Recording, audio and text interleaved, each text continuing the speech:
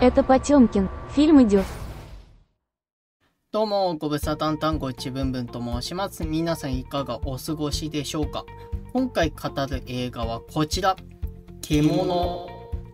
ベルトラン・ボネロの新作ですね。昨年のベネツィア国際映画祭で上映されて、その時にエンドロールが QR コードである。 これがすごい話題になった作品ですね。そんな本作が横浜フランス映画祭2024にやってきたので、えー、見に行きました。で、今年の横浜フランス映画祭かなり混乱していて、その、チケット取りが終わった後に急遽なんか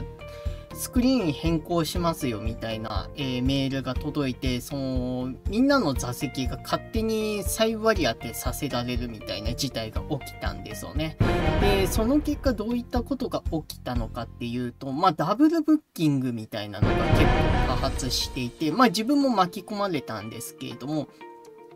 上映の前日に、あのー、まあ、公式から、その、まあ、前日なのでチケット送りますよって QR コードのチケットが送られてきたんですよね。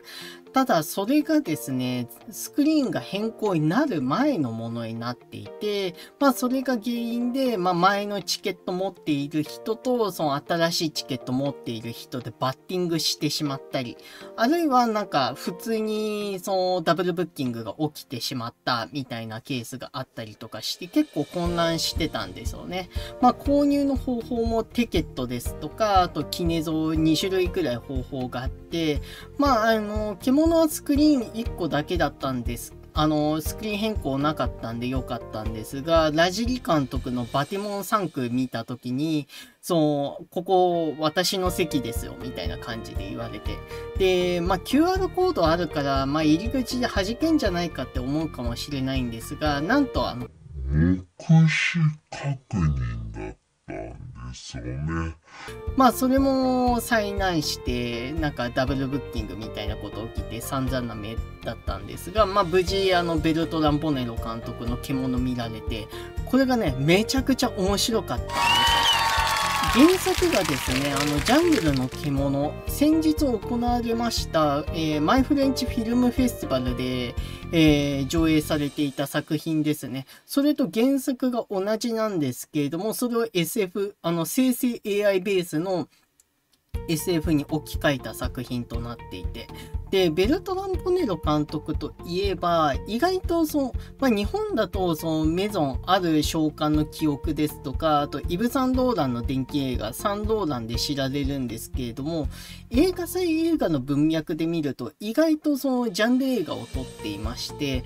例えばノクトラマですと、まあ、いわゆる犯罪者ですね、デパートに入って、まあ、強盗するみたいなのを描いて、フィルムノワール的なのを描いていたり、あるいはそのゾンビチャイルドっていう作品で、こう、ゾンビ映画。まあ、ゾンビ映画って言っても、ジョージ・ロメロゾンビじゃなくって、えー、中米ゾンビ、まあ、いわゆる私はゾンビと歩いたを、えー、リメイクしたような作品になっていて、まあ、面白いアプローチでジャンル映画にアクセスしていく。それがベルトラン・ボネロ監督のある種の作家性なんですけれども、今回は SF に挑戦して、で、これがすごい厄介かつめちゃくちゃ面白い作品だったんですよね。まあ、あの、視覚的、聴覚的な作品なので、まあ、ネタバレも何もないと思うかもしれないんですけれども、あの、一応日本公開が2025年決まったらしく、あと、人によっては、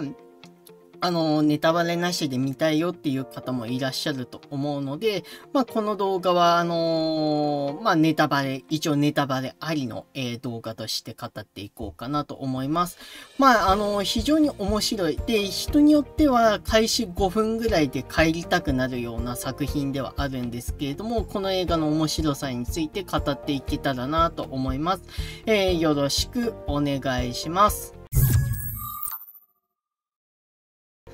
さて、えー、この獣どういったお話なんでしょうか？これ多分最初の30分についてディティールを語っていくいった方がいいかなと思います。結構混乱の呼ぶような、えー、3つのシークエンスが最初に挿入されるんですよね。で、まず最初がですね、もうオープニング中のオープニングなんですけれども、グリーンバックの中、その、レア・セドゥ演じるその俳優が、なんかスタッフさんからシチュエーションを伝えられて、それを実践する場面から始まるんですよね。まあ、背景はグリーンバックなんですけれども、どうやらサスペンス映画をやろうとしていて、その机にあるナイフを持って、なんか獣の気配を感じ取るんですよね。で、何なのかなって思って、えー、だんだんと音がでっかくなっていくんですよ。もうジャンプスキャーに匹敵するような、つんざくような音が鳴っていくんですが、やがて悲鳴を上げるんですよね。そうすると、そのグリッチノイズみたいなのがかかって画面が溶け始めてタイトルがバーンって出るんですよ。おうっていうところから始まるんですけれども、かと思うと次の場面は、なんかあのー、20世紀初頭なんですよね。初頭で始まるんですよ。で、なんか、レアセドゥが誰かを探していると。で、失われた時を求めてみたいな感じで、そのサロンの中で、えー、まあ、絵画とかいろいろ飾ってあって、それについて話したりとか、あと、オペラの蝶々夫人について語ったりとかするんですよね。で、やがてそれが、その、1910年に、えー、パリで起きた大洪水があるんですけれども、その直前だということがわかるんですよ。で、そう、誰かを探していて、で、まあ、ジョージ・マッケン、もともとギャスパー・ウリエルが担当するはずだったんですが、これがあの、ジョ、えー、ウリエルさんが亡くなってしまったんで、今回ジョージ・マッケンに変わっているんですが、彼演じるルイと出会って、なんか何かが起きる。で、それについて、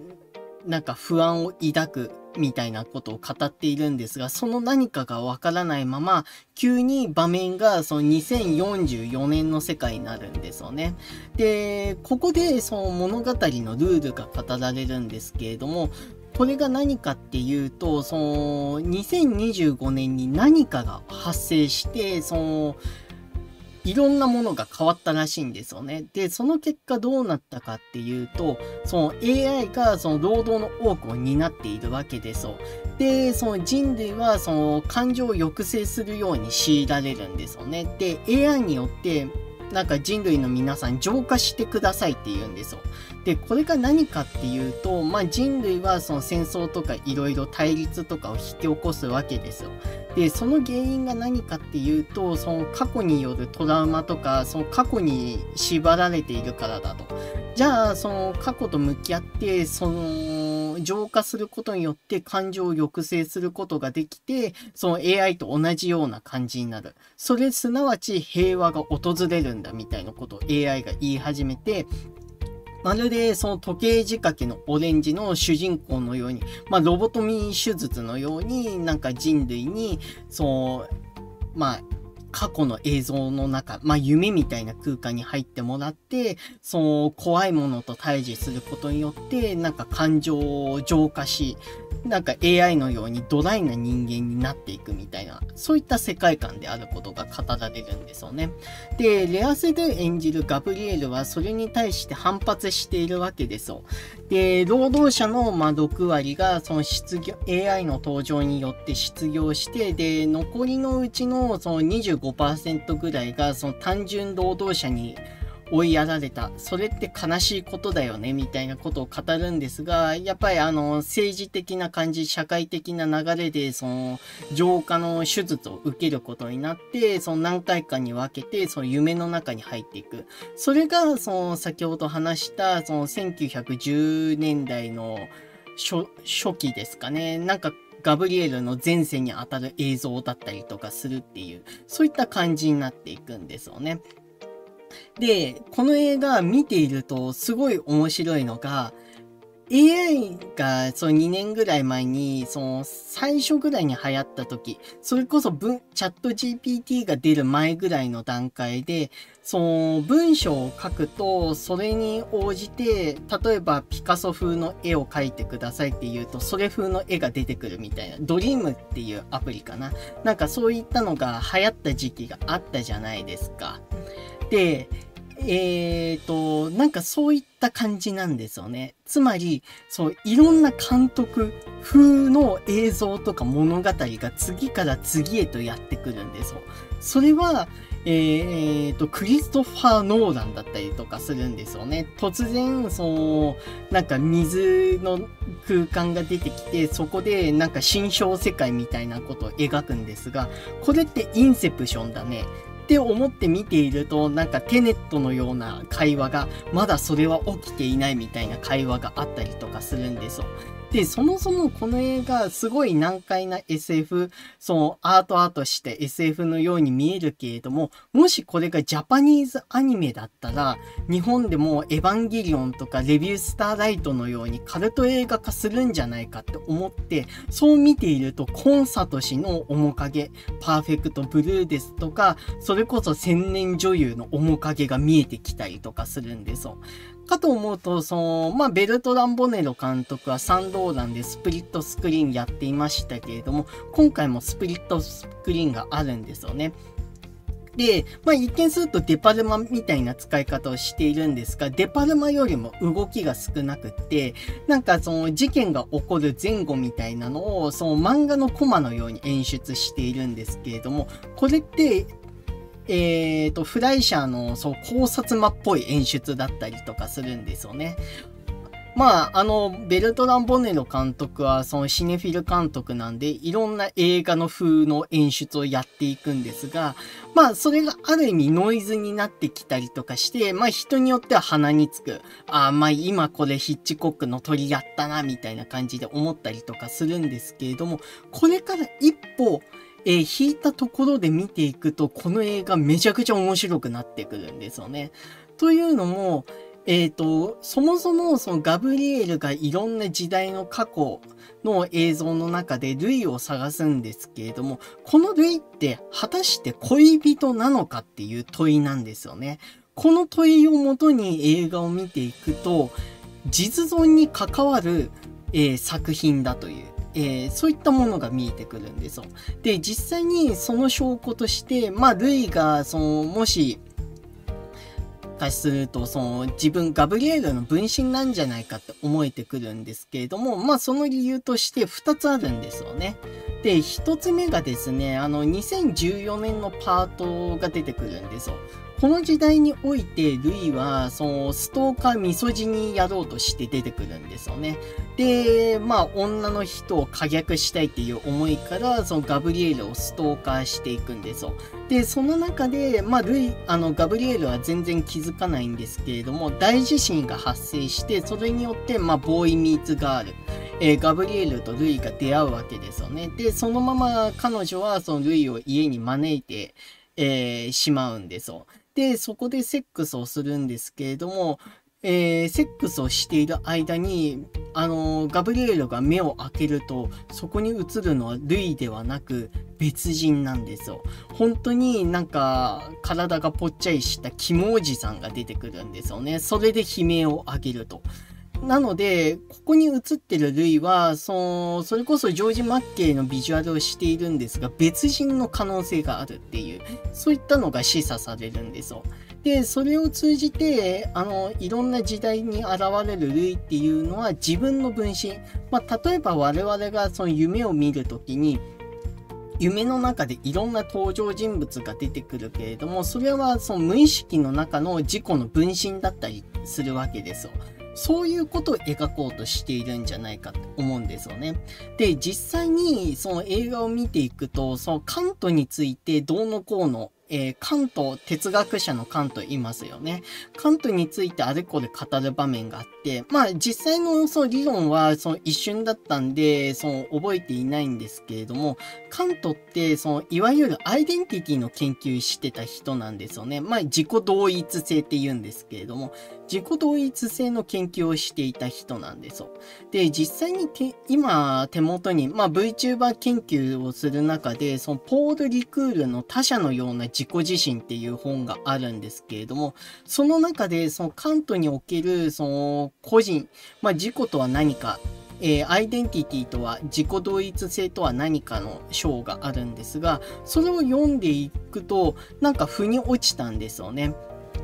で、その、ポール・リクールの他者のような自己自身の中において、そういう自己同一性を用と質に分けて語るんですよね。で、これどういうことかっていうと、えーと、まあ、例えばそのガブリエルが私って言ったとする。で、私っていう単語自体はいろんな人、例えばチェブンムンが私っていう場合もあるし、まあ、いろんな人を指し示す、まあ、いくつか複数の人を指し示す場合がありますよね。でも、ガブリエルがその私って言ったら、そのその私っていうのはガブリエルになるわけですよ。なので、えー、まあ、私という単語自体が、そのいくつの複数のものを持つ。まあ、これを用として。で、私とガブリエルが密接に結びついた状況を質と定義することができる。これをカントが言っているんですよね。で、それに補足するようにポール・リクールは、その、まあそういう方程式の間にも、その、まあ時間軸っていうのがあって、例えば、その、過去における私と今における私っていうのは違うけれども、ある意味同じだったりとかするじゃないですか。そういった連続性を持っている状況ってあるんじゃないかっていうところから、なんか自己同一性とは何かってポール・リクールが語ってたりとかするんですよね。まあそれを考えると自分の中も、まあ、例えばインサイドヘッドのようにいろんな、えー、感情が内面にいて、その内面が対話して、なんか自分の中のモヤモヤを解消するみたいな時あるじゃないですか。で、なんか他の人のその思考を媒体にその自分っていうのを定義するっていうのをやりますよね。で、例えば、その、まあ自分はバカだみたいなことを言ったときに、えー、それっていうのは、その他人から見てバカだっていうのを通じて、まあ自分イコールバカだって考えたりとかするわけですよ。なんかそういうように、その他者を通じて、その自問自答することによって、その、まあ、えー、この映画、その獣においては、その実存の危機に陥っている、そのガブリエルが、その、まあ、自分の中の内面のモヤモヤ、まあ、社会の変換期の中で感じるモヤモヤを払拭するような物語になっているんじゃないか。で、その結果、自問自答した結果、まあ、この映画の場合では最後絶望で終わってしまうんですけれども、なんか、そう考えると、単純にガブリエルとルイの関係は恋愛関係ではなく、そう自分の分身として、まあ、実際に冒頭で、何か起きるかもしれないという不安をガブリエルもルイもその共有しているわけですよ。なので、その分身としての映画として、で、そこにその AI 的ななんかいろんな映画風っていうのをデジャブ的な感じで使っているっていうのがかなり面白いなって思いました。で、またその本作では面白いアイテムとして人形が使われているんですよね。で、人形とその時間予行を通じたその人類史を結びつけるそれで何が言えるかっていうのを模索しているのも特徴で、例えば、その、まあ、人形自体は、その無機質で大量生産されるものですと。で、人類はその進化の過程で、その整形手術をするみたいなのがあるんだけれども、時代の流れとともに、そのテクノロジーに吸収されていく、テクノロジーによって、まあ、操られていく。まあ、実際その例として、その、パソコンの中の広告の魔の手に、その、引っかかってガブリエルが、そのコンピューターウイルスをたくさん起動させてしまうっていう場面があったりとかするんですよね。で、その末路として AI が人類を超えて、まあ、あの、シンギュラリティを起こして、その人類がまるでその人形みたいな存在へと押しやられてしまうんじゃないかって考察されているところが、これまた面白いなって思いました。まあ、このように、まあ、非常に厄介な作品ではあるんですけれども、じっくり見ていくと面白いっていう作品ですね。まあ確かに突っ込みどころは多くって、例えばスプリットスクリーンで、なんかミハエル・ハネケ的にその時間を戻しながら、その事件が起こる瞬間を見せていくっていうアプローチがあったりとかするんですけれども、まあスプリットスクリーン使ってるんだったら、まあ、普通に考察魔の方が上手いし、かっこいいよなと思ったりとかするんですけれども、それでもその集悪さ込みに面白い作品でした。で、最後に、あのー、まあ、この映画のエントロールはやっぱり、あの、今回見て、あの、QR コードだったんですけれども、これ自体がある意味、まあ、業界に対して、映画業界に対して、まあ、疑問を提示している、ある種問いかけをしているみたいな感じで、まあ、これから、あの、エンドロール問題について語ってもいいんじゃないかなって思っております。まあ、エンドロール、最近のエンドロール、あの、ハリウッド対策を中心に非常に長いですよね。あの、ものによっては10分超えとかあったりとかするんですけれども、これっていうのが、まあ、もともとエンドロールはなく、その、あの、The End とか、ファンとかで終わっていたのに対して、その映画業界で働く人が、あのまあ、携わった記録として残したいっていう、まあ、権利を勝ち取る形で、どんどんエンドロール長くなっていったわけですよね。とは言っても、まあ、観客、多くの観客にとって正直これは長すぎるっていう問題もあって、じゃあどう解決するのかって言った時に、まあ、今回 QR コードを、えー、ベルトラン・ボネロは発明したんですけれども、それってある種本末転倒なんじゃないか。例えるならば、その、まあ、YouTube で広告が出てきて、まあ、鬱陶しいわけですよね。で、プラグインで、まあ、広告を16倍速で早く飛ばすっていう技術が開発されたりとかするけれども、これってその広告主にとって、まあ、あの本末転倒、まあ、広告が届かないって一緒じゃないですか。でも人々は、そう、映像、あの、見たい映像だけが重要なので、まあそういった広告が届くか届かないかってあんまり関係ないじゃないですか。なんかそれと似たような形で、